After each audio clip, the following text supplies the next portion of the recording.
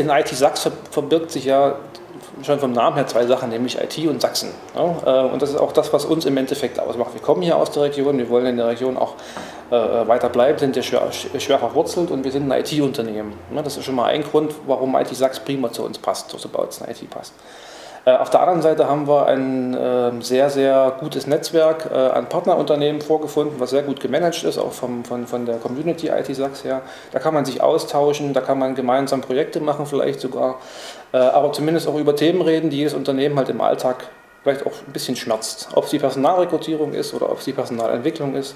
Es gibt immer Themen, wo man sich austauschen kann und da ist ein sehr, sehr ähm, nutzbringendes Netzwerk entstanden, was wir auch sehr gern äh, ja, auf der einen Seite unterstützen, auf der anderen Seite aber auch nutzen. Wenn ich an IT Sachs denke, haben wir auf der einen Seite natürlich äh, Bewerber bekommen über den Kanal IT Sachs. Äh, ganz wichtig ist auch ja der, äh, die, die, das ureigenste Interesse dieser Community. Auf der anderen Seite haben wir eine ganze Menge an äh, PR-Effekte gehabt, also man findet uns deutlich besser im, im, im, Netz zum Beispiel. Auf der anderen Seite ist eine sehr, sehr schlagkräftige Community entstanden, die wir gern, die wir gern nutzen.